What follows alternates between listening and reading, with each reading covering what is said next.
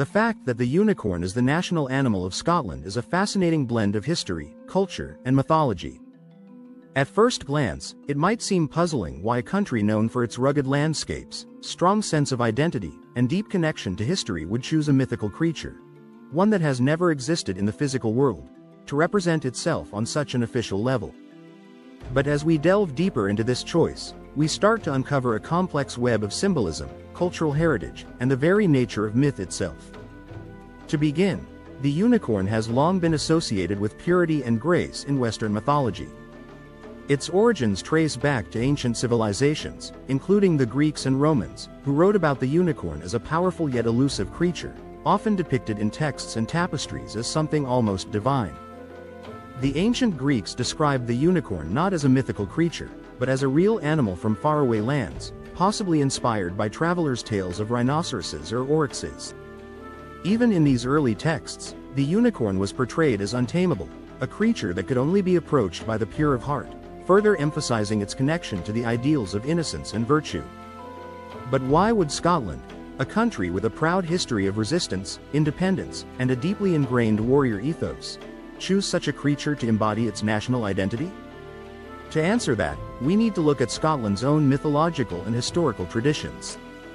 Scotland is a land steeped in legends, where the lines between history and mythology are often blurred.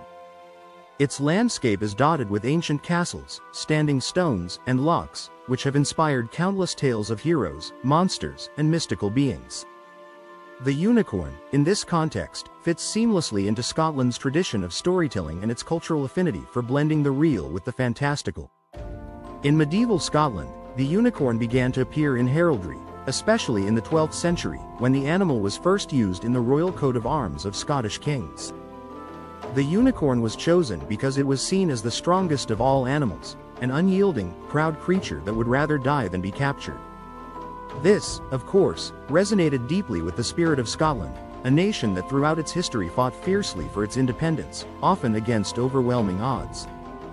The unicorn, in many ways, became a symbol not only of purity but also of resistance and defiance, reflecting Scotland's struggle to remain free from external domination especially during its long and often tumultuous relationship with England. The unicorn's appearance on the royal coat of arms is significant for another reason. It is often depicted with a golden chain around its neck, which might seem paradoxical at first for a creature meant to symbolize freedom. However, this image can be interpreted in a few different ways.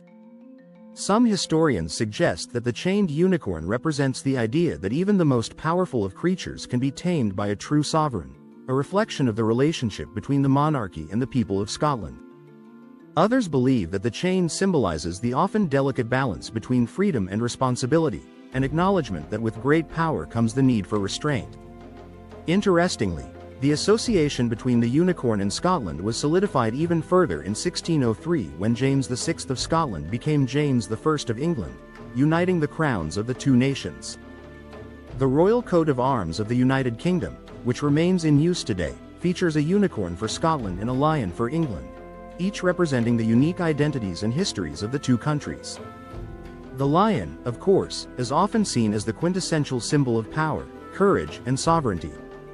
In contrast, the unicorn, while equally powerful, brings a sense of mysticism and moral purity, suggesting that Scotland's role in the Union was to provide not just strength but also wisdom and integrity. The choice of the unicorn as Scotland's national animal can also be seen as a reflection of the Scottish people's deep connection to the natural world, and by extension, to the fantastical creatures that inhabit their folklore. Scotland's rugged terrain, with its misty glens, towering mountains, and deep lochs, lends itself to an atmosphere of mystery and otherworldliness.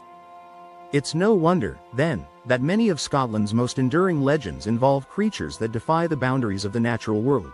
Whether it's the Loch Ness Monster, the Kelpies that are said to inhabit Scotland's waterways, or the fairy folk that are believed to dwell in the country's hills and forests.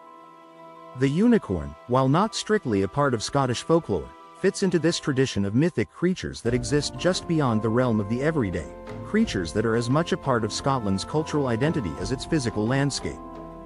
Moreover, the unicorn as a national symbol speaks to the way nations use mythology to construct and project their identities.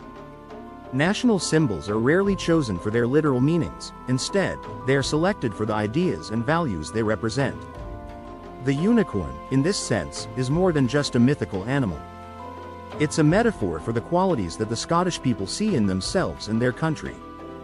Just as the unicorn is said to be untamable, so too is Scotland portrayed as a nation that values its freedom and independence above all else. The unicorn's association with purity also speaks to Scotland's sense of moral integrity, while its mystical nature captures the country's unique blend of the historical and the fantastical. But this choice also reflects a broader human tendency to use myth and legend to make sense of the world. Myths are not just stories we tell to entertain or frighten. They are a way of exploring the deeper truths about who we are and where we come from. By choosing the unicorn as its national animal, Scotland is not just making a whimsical or imaginative decision, it is tapping into a long tradition of using mythology to define its identity. In many ways, the unicorn embodies the idea that Scotland is a place where reality and imagination coexist, where history is never far from legend, and where the past and the present are deeply intertwined.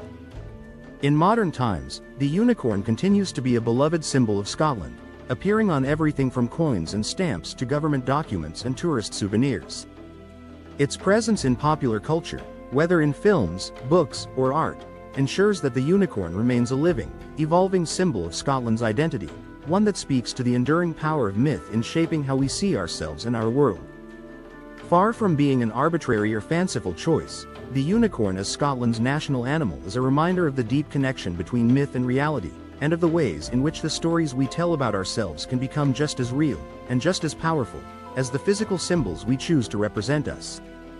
This interplay between the real and the imagined is at the heart of what makes Scotland, and its choice of the unicorn as a national symbol, so fascinating. It's a reflection of the country's ability to embrace both its rich history and its sense of wonder, to be at once grounded in the real world and open to the possibilities of the fantastical. Thus, the unicorn, a creature of legend, is an ideal representative for a country as unique and storied as Scotland. A place where myths come to life, where history and fantasy are woven together into a tapestry as rich and colorful as the land itself. And in choosing the unicorn as its national animal, Scotland reminds us all of the power of imagination and the enduring importance of myth in shaping our understanding of the world.